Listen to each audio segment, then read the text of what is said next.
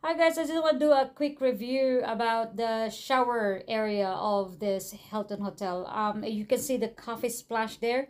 Is when I tried to wash my coffee cup and then this water just come out out of nowhere. And it's basically it's so hard to control. And if if this one cater for the elderly you need to have it soft because look at that the water's coming out. You will have a panic attack when you try to put that one on I tried to make it a bit slower, but it need, you need to have a little, very, very good control in your hand. And if you're talking about elderly people, elderly, oh, it's, it's really hard. You can see the water.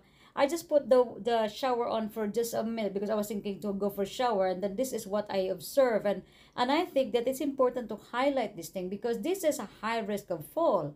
And um, the, the floor is slippery. This is real time. I'm not editing this and this is the real time. So look at the water. The water is spreading all over the floor because they don't have um, like a, a tray or some kind of they the funny thing about this design is i don't know who designed it they they don't i think they don't know about um, they're not really assessing it well. Uh, what they're trying to do are they trying to cater for the youngs and no mobility issues or not high risk of fall or the catering it for the elderly patients and people? Because look at that guys. Look at look at how the water like increased for just few minutes. This is very dangerous and i'm very concerned about this. And i hope that um, hilton hotel will not um uh sell this to the elderly. I think young people we can get, re- get we get on with it you know i mean? I'm not bothered about it but uh, it's that the toilet is not really luxurious looking. Yes it is it's it's a different thing you see? So this is a purpose rather than like luxury kind of thing. So like for me this is like i, I feel like i'm a, at, at work like in my one of our um shower for our patients you know?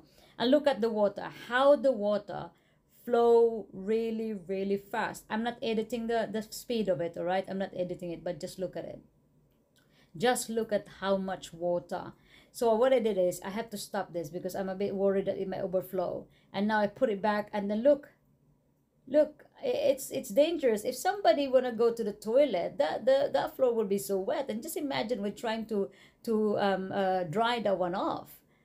Uh, no, uh, nah, nah, nah. They this have to change. I mean, I don't mind staying here, but before I leave, I think they need to change it.